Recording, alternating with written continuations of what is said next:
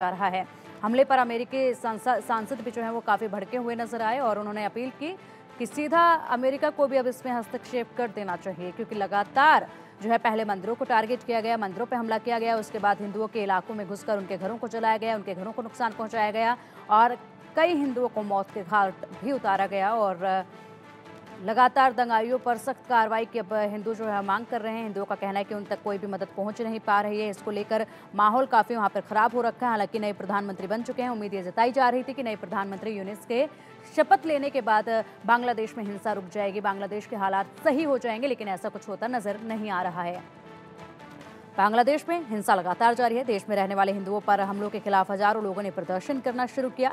इन हमलों में एक शिक्षक सहित दो लोगों की मौत हो चुकी है और 45 लोग घायल हुए हैं। संयुक्त राष्ट्र महासचिव ने कहा है कि बांग्लादेश में हिंसा को रोका जाए। बयान में कहा गया है कि संयुक्त राष्ट्र हर तरह के नस्ल भेदी हिंसा के खिलाफ है। बांग्लादेश में हिंदुओं पर हमले पर भड़के हुए हैं अमेरिकी सांसद। बांग्लादेशी हिंदुओं को मिला अमेरिकी सांसदों का साथ और हिंदुओं के खिलाफ हिंसक कार्रवाई की मांग कर रहे हैं।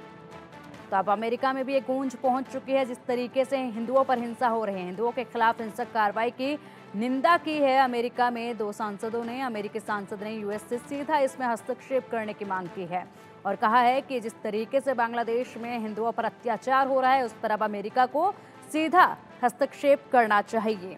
तो लगातार इसको लेकर अब प्रोटेस्ट भी हो रहे हैं। ढाका में सुरक्षा की मांग को लेकर हज़ारों हिंदुओं का प्रदर्शन भी चल रहा है। सत्रह करोड़ की आबादी में हिंदू करीब आठ प्रतिशत है, यानी कि एक करोड़ पैंतीस लाख वहाँ पर हिंदू हैं जिन पर अब अत्याचार चल रहा है।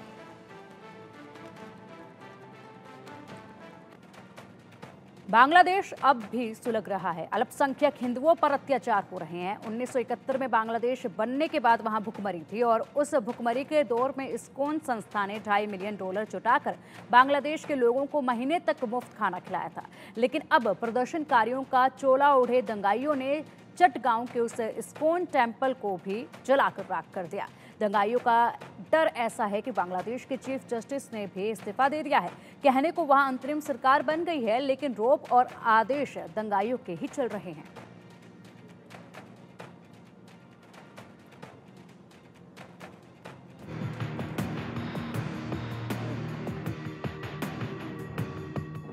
बांग्लादेश जल रहा है, सुलग रहा है, हिंदुओं पर हमले हो रहे हैं, मंदिर जलाए जा रहे हैं। हिंसा के मद में अंधे हो चुके बांग्लादेश के तथा कथित प्रदर्शनकारी मंदिरों को जला रहे हैं, तोड़ फोड़ कर रहे हैं। दंगाइयों ने बांग्लादेश के इस्कॉन मंदिर को भी फूक दिया। ये वही इस्कॉन है जिसने बांग्लादेश निर्माण के बाद भूख से मर रहे बांग्लादेशों की मदद के लिए सैकड़ों करोड़ रुपए खर्च किए थे। भूखे मरते बांग्लादेशों को मुफ़्त खाना खिलाया था, लेकिन हिंसक भीड़ ने उस इस्कॉन मंदिर को ही जला डाला, तबाह कर डाला। जब बांग्लादेश 1971 में आज़ाद हुआ था ना तो आर्थिक रूप से बहुत बुरी हालत थी। लोग भूख से बिलबिला रहे थे, बहुत अस्त व्यस्त परिस्थितियाँ थी। तो उस वक्त जो एस्कॉन के फाउंडर हैं, हमारे शिला प्रभुपाद जी, उन्होंने 2.5 मिलियन डॉलर रेस करे थे। आप सोचिए 50 साल पहले 2.5 मिलियन डॉलर बहुत बड़ी बात है। और यहाँ पे वो कम्युनिटी है, जिनको जब सबसे ज़्यादा ज़रूरत थी, उस वक्त उनकी हेल्प की गई, इतने बड़े स्केल पे उनकी हेल्प की गई। और बदले में उन्होंने क्या किया? वो हम सब देख रहे हैं। हरे कृष्णा। इस बीच बांग्लादेश के दंगाइयों के डर से चीफ जस्टिस ने भी इस्तीफा दे दिया है।